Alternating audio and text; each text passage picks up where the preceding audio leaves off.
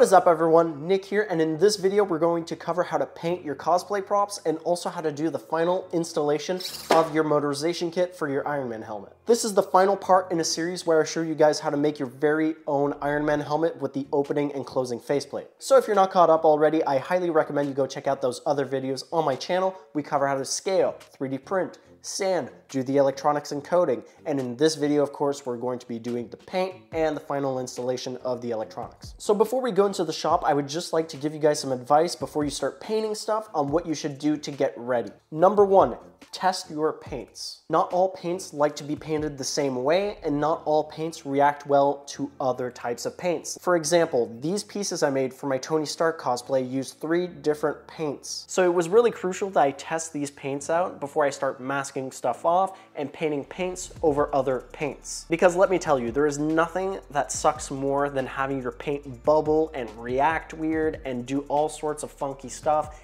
and just come out bad. So that's why you should go to the store and buy yourselves these. These are literally just plastic spoons. So you would sand it just like you would with your regular parts and then you'd paint it and then let it dry and then try testing out your other paints over that paint. And once it's dry and there's no weird reactions with your paints, then congratulations, your paints work together. Now another thing I would like to highlight here is when you're painting, please follow the instructions on the can. Now you might be thinking, Nick, are you stupid? Of course we're gonna follow the instructions on the can. But listen to me, okay? I have screwed up too many paint jobs because I wasn't paying attention and didn't read the instructions. Because not all paints are made the same. So, before you start spraying, just reread the can real quick, make sure everything's good, and then you're on your merry way. So with that said, I think we're ready to start painting, so let's cut to past Nick and get to work. Alrighty, so I have all my parts laid out here in the shop. Um, one thing I will be doing before I start painting is using a tack rag. So basically, this is just a very tacky rag. You can get this at most auto shops like Napa. Basically, these are used to wipe down the surfaces of whatever parts you're painting before you actually paint them. So this gets rid of dust or any debris that might have built up on the part. Here's my rag. Just gonna wipe away any sort of dust that might be on the surface, just like that. So now that this is super nice, super clean, it's finally ready for paint, so we're gonna go into the booth and I'm gonna show you my spray painting techniques. Also, don't forget, safety first. So I have my respirator here around my neck. I also have a pair of goggles to protect my eyes, and I have this latex glove. And basically, I'm gonna put this on my non-dominant hand. That way I can manipulate the part and paint with the other one, and I don't get any overspray on my hand. So with that said, let's go in the booth. Now before I do any sort of painting with rattle cans, I always make sure to reread the instructions on the can because not all paints are made the same. For example, with Dupli-Color Perfect Match paints, they recommend that you shake the can for one full minute before using it and then 10 seconds for each minute of use. And they also recommend two to three light coats to prevent any sort of sagging with this paint. Now I've used this type of paint in the past and I found that it always takes at least three coats for the paint to be properly applied to the part. Anything under three coats with this type of paint always ends up looking not quite done, if that makes any sense. Like it doesn't have the exact color it should have. So if you have to apply more than one coat afterwards, okay, it is what it is. At least you're not ruining your paint job with sagging and running paint. What we're going to do just like the can says, we're gonna do sweeping motions. So when I paint my cosplay parts, I always make sure to do the corners and edges that are hard to reach. I just prefer this because instead of doing the surfaces and then doing the edges and getting a bunch of overspray on top of the nice paint, it's the other way around, so your paint is going over the overspray. And it's always good practice to spray before you start making contact with your surface. So instead of spraying here and starting to make your way to the edge, you wanna start on the outside of your part, make your way down here, and then once you're off your part, you release the button. Voila. And that's one edge done for now. We don't want to go too heavy with it. We're doing light coats. Let's do the other side.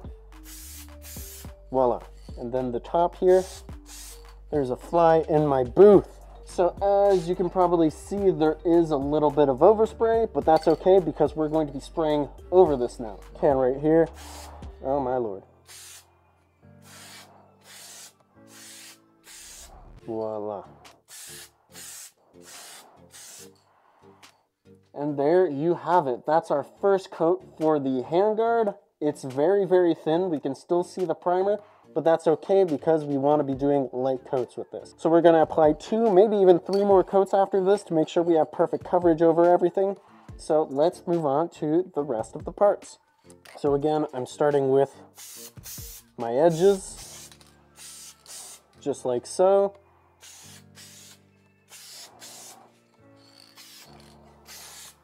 And then I can actually start working on the surface itself.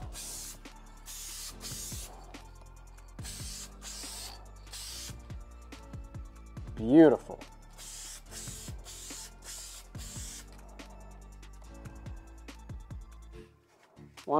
So we're now day two in the painting process itself. I've actually done quite a bit of painting in the meantime. So I've painted all the parts in this champagne gold and as you'll notice, it's a little foggy. The paint didn't come out quite right, but that's okay because as soon as we clear coat this, all of this foggy paint is just gonna stabilize and it's gonna look completely normal. Now, how do I know this? Well, I did testing. So these are the exact same paints. When I originally painted this spoon, it was very, very foggy and then I added the clear coat over it and it completely dissipated and it looks perfectly fine now. So crisis averted, our parts are gonna be completely fine once we clear coat them. Speaking of which, I've already clear coated some parts. Here we have the hand. This came out really, really good. So I've already painted all the parts that are going to be red and don't need any sort of masking. I still need to clear coat the vast majority of them, but before we do that, we're going to talk about masking. Case in point, this calf piece, if I'm not mistaken, the whole rear part of the calf is going to be red, so we're going to be masking this with yellow frog tape. This frog tape right here masks very well. It doesn't leave a sticky residue behind, so we're going to be using this for the vast majority of our masking. And we're also going to be using this brown packing paper. So basically, instead of wasting a bunch of tape trying to tape off huge surfaces, we're going to tape off the edges that need to be covered, and then we're going to use this brown packing paper to cover those large surfaces. So I've already taped off the shin. Basically what I do is I follow all of the straight lines with my tape. So I'll take a piece of tape. Oh my lord, this is falling over. Rip it off, toss this to the side. Ah. And essentially, I will line it up with whatever edge is straight, just like this. So if you have any circular edges like this, they're absolutely terrible to mask off, but basically what you wanna do is use tiny increments of tape at a time so you really get that smooth transition of the curve or else you're gonna have jagged edges, it's gonna bleed through, and you're gonna have a really wonky seam line right here. And once I've masked off all the edges that I want, that's when I start using the tape a little bit more liberally. I start covering up all the holes and seams and whatnot, and that's when I grab my packing paper, rip a huge chunk out of it, add a huge strip of tape to it, glue it to one side, and start wrapping it around to the other side, maybe even folding it into the part, that way there's no bleed on the inside. And yeah, this is basically ready for paint. And once I painted all the red areas, I removed all the masking tape and all the paper and I let it sit for about a day. Now it's not supposed to take that long to cure. I just wanted to be absolutely sure that the paint was dry before moving on. And then I masked off all the areas that I wanted to paint chrome, painted it a flat black, and then added a gloss clear coat over that. And then I finally added the Duralumin Tough for that chrome finish. Again, removed all the masking tape, let that sit for a little bit, and then I drenched everything in 2K clear coat. Usually I stick to Duplicolor 1K because it has such a long pot life in the can, but since I had so many parts to clear coat, I decided to go with the Spray Max 2K clear coat. Now the Spray Max 2K is only meant to last about two days once you've activated both parts. But since I had so many parts, I knew that that 2K was not gonna go to waste, and of course I emptied that can. Now that everything is dry, we're finally back inside, and now we finally start assembling stuff. Now I've already started assembling some of this because this video is supposed to focus just on the Mark 42 helmet, but for example, the shin here, I added some padding on the inside. That way it would sit right on my leg. And I also started assembling the boot. So basically there's two elastics on either side of the toe and there's a hinge here guiding it so whenever I'm walking I can bend my toe. If you're curious on how I built this, I'm using the exact same mechanics on my Mark 46 boots and you can go check that out in part one of that video. I'll probably leave a link here. And besides the shoe, I also assembled the forearm and the glove. So the forearm has that little inner detail right there. I also added some padding on the inside. And the glove, it's really nothing complicated. All the digits have been glued to an elastic that glues to the hand.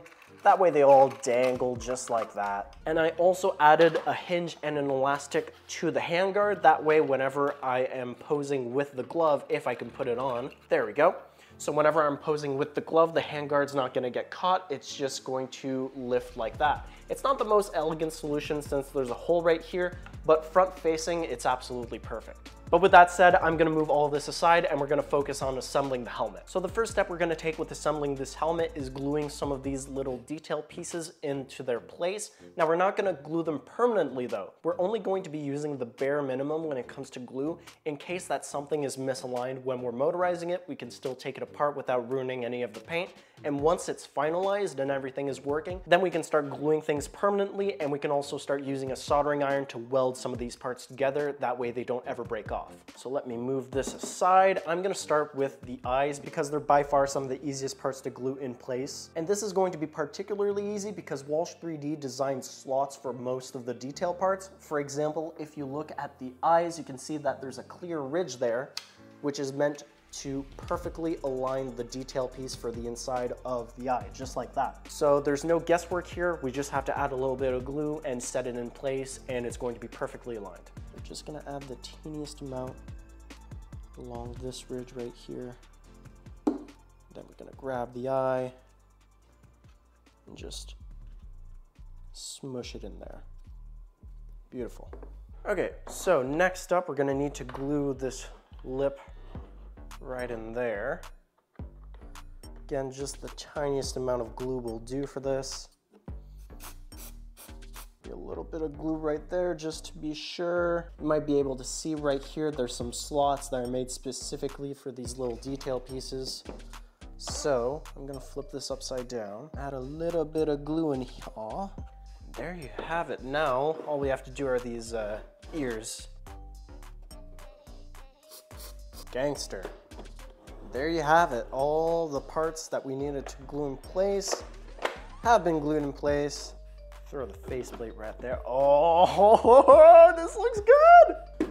Okie dokie. And now the moment that you've all been waiting for, it's finally time to motorize the faceplate. So let me give you a quick breakdown of what's going on inside the faceplate and how the mechanism actually works. So first off, you have these two helper arms. These are gonna be on the sides of the helmet and they're going to help the servo arms guide the faceplate up and turn around onto the top of the helmet. And of course, each helmet is made a little bit differently. Some 3D files don't have any motorization inside their helmet, but some designers like Walsh 3D, Levy 3D, etc., they design the motorization built into the helmet. So in the case of Walsh's Mark 42, there are two little pivots on each side of the cheeks. Those are where the helper arms are going to mount and pivot. And next up, we have the actual main servo assembly itself. So this is made this is made out of quite a few parts, so let me break it down for you. First off, we have the main servo mount right here. So you have the two Tower Pro MG90S servos right here. And as you can see, they're screwed in using the screws that are included with the MG90 servos. And this whole block right here is going to mount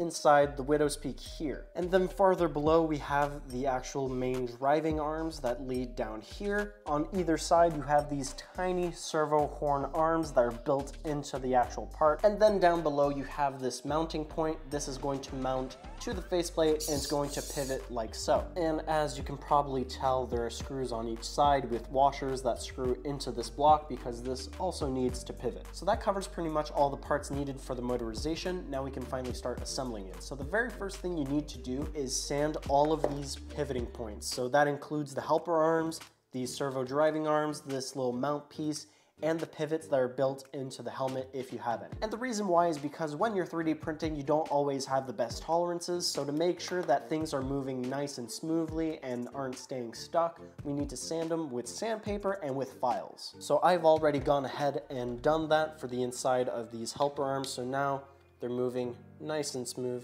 just like so. And once all your parts are moving smoothly, the very first thing you're going to be installing are the helper arms because since you have the pivots already built into your helmet, that is a fixed point. You can't adjust it after you've installed the rest of it. There is a little bit of wiggle room, so if we install this first, we might not be able to install our helper arms afterwards. So we're gonna start with the helper arms and move on to this. So right now I'm using hex button M3 screws, so Let's drive one through the washer. There we go. Voila. So that's two hinges bolted in. Now we can bolt this into the helmet. Okay, so uh, the helper arms have been installed. Uh, that was a terrible experience, but I pulled it off anyways. Now we finally have to install this doodad. So, not entirely sure how I'm gonna go about this, so we're gonna just figure it out as we go. Also, one thing I absolutely love is Walsh 3D, whenever he uploads a new helmet, he makes an Instagram post about it, and in his Instagram posts, his photos are super, super detailed, highly, highly valuable when you're building one of these. Because right now I'm looking at a render of his faceplate and that's giving me an idea of where this has to glue in the faceplate. So it's like right above where the details are. Okie dokie, that's glued in place. So you can probably tell, but I decided to use a different motorization kit. This isn't the stock one that's included with the Mark 42 files. I went ahead and printed out the customizable motorization kit that Walsh 3D made. A few things to keep in mind when you're installing the servo mounts is whenever you're gluing it in place, when you're testing it out, you wanna make sure that there's no friction when the mask lifts up and when it comes down. If it stays stuck at the widow's peak, you either need to adjust the placement of your servo mounts or you need to sand along the widow's peak. Because like we discussed in a previous video, as you start painting this thing, you start building on layers of paint, primer, clear coat, whatnot. The tolerances of this widow's peak start to diminish, and as they diminish, there's more and more friction, the faceplate can't close properly, and I actually had these issues as I was installing the motorization kit in this, so I had to sand these two edges right here of the faceplate. So now it opens just fine and it closes just fine too. So I think we're finally ready to start installing the electronics, testing it out, and once everything is working, we're just gonna super glue everything down, we're gonna plastic weld everything down, that way it can't break. And of course, we're going to be using the PCB I designed for an ATtiny 85 USB board in the previous electronics video using PCBWay. And of course, a huge thank you to PCBWay for sponsoring this video and for sponsoring the channel. Now, if you don't know it already, PCBWay is the industry leader in high quality PCB manufacturing and 3D printing services. From custom circuit boards to innovative 3D printed prototypes, PCBWay offers unparalleled quality, fast turnaround times, and competitive pricing. If you're interested in designing your very own PCBs, I'll be making a tutorial for that in the near future, and I'll also be leaving a link in the description where you can get $5 off your very first order. Now you might be wondering why I bothered making my very own PCB for this helmet, and the answer is quite simple. Basically by designing my own PCB and by ordering it through PCBWay, I'm completely eliminating the need for all this wiring for the connectors to the board. In the simplest terms possible, all this wiring you see here has been designed into the board. So basically this PCB is serving as a breakout board. So all the connectors are linked to the pins on the ATtiny 85 board and completely eliminates the need to do all this soldering. I'm gonna need that later. and once all the connectors and the board has been soldered to the PCB board, all I need to do is crimp some connectors and plug them into the board. So I have one wire that is for the power, I have another wire that's for the switch, and then I have this one which is for the eyes. And lastly, I have these two little connectors that lead back to JR connectors, and these are gonna be for the servos. So there are two things we need to test out with the helmet to make sure that everything is working for the motorization. The first one would be finding the closed position of the servo arm. So right now, I have no idea in which position my servos are, so when I turn this on, there's a good chance that my servo arms aren't going to be aligned and they're just gonna be all wonky. So to find the closed position of your servos, we have to unscrew the servo arms from the servos themselves and we have to set all of this up and turn it on as if we were using the helmet. Now, once the eyes light up, that means the faceplate is in its closed position, and that means the servos are in their closed position. So once the servos are in their correct position, we can just take the servo arms and screw them back into the servos. And now they're correctly aligned. So just give me a second, I'm gonna do that right now, and then we'll move on to step two. Unscrew this one right here. Don't lose the screw unplug that. Okay, so now the faceplate has been unscrewed from the servo arms. Now we can attach all of this and turn it on. Plug that in. Now let's see. Oh, geez, Louise, that's bright. Okay, so it just opened. Now it's closed. So I can close this and attach the servos. Now this is either gonna go really, really well or it's gonna go really, really bad. There's no in between. okay, so they're both attached. Now let's see what happens if I click the button. Oh God. That's terrifying. Jeez Louise. So when it opens, you can probably tell it slams into the helmet and then it tilts back forwards that means we're gonna have to adjust the servo position. And also the speed, you could probably tell that was really, really fast. So for step two of installing the electronics, we're going to want to change some of the code. So just like I explained in the electronics episode, we're going to want to modify the configuration files. So one thing we're gonna wanna change is the servo closing speed, because right now it's like way too fast. And the other thing we're gonna wanna change is the servo position when it opens. So I'm gonna grab my computer, change the configuration files, and re-upload the code. And once you've figured out your ideal closing and opening speed and your ideal servo positions, you should have something that looks a little bit like this. There we go. It doesn't slam into the back of the helmet, which is very nice. And then when it closes, fairly fast, but it doesn't slam into the jaw. So I think we're good. I think we're finally ready. I think we're finally ready to install everything. Now, when it comes to installation, this is totally personal preference. I've seen people just hot glue their boards into their helmet, into the suit, whatever.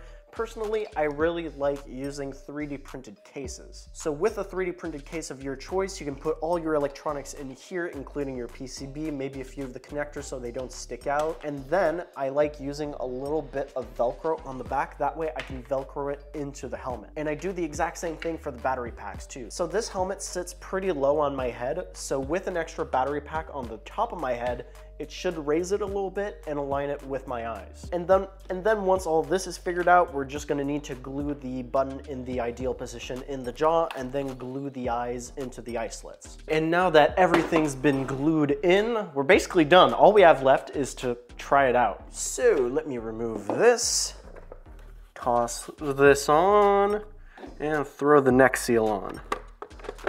There we go. Beautiful and it works. Pretty satisfied with the results. It holds together very, very well. I added some padding in the cheeks and also on the back of the head so it stays aligned and it keeps the button from accidentally triggering. So I'm not constantly closing the faceplate on myself. Voila. And the speed's pretty good too. It goes down rather quickly, but it doesn't slam on my face, which is very, very nice. Yeah. So yeah, that pretty much covers the helmet. So now that this is done, I'm gonna go change into my Tony Stark cosplay and we're gonna try on the boot and the gauntlet with the helmet and we're gonna see how it looks. So this is going to be my Tony Stark cosplay at this year's Fan Expo Canada in a few weeks. So of course I got the gauntlet here, I have a NeoPixel in my hand for the repulsor, and I also added some small LEDs underneath this inner detail, just to kind of simulate the electronics that would be inside the suit and whatnot, and of course, boot. I don't even think you guys can see it from here, I'm not even sure, because I can't see with these glasses. He only wears these for like two seconds in the movie when he's shopping at the hardware store to make, you know, weapons and whatnot, but uh, I thought they were cool, so I got a pair to go with the outfit.